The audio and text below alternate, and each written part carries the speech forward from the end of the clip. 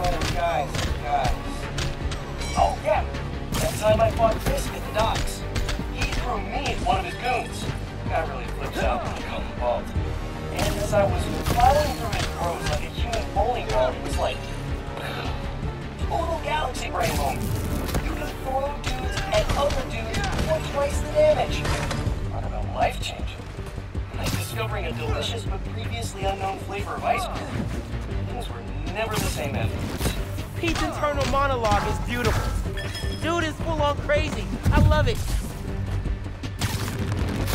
Got him. Remember, you can lift dudes up and spin them around to smack other dudes.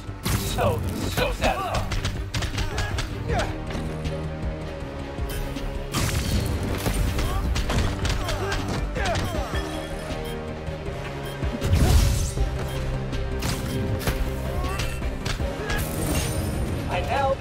the title of Ultimate to you, Miles.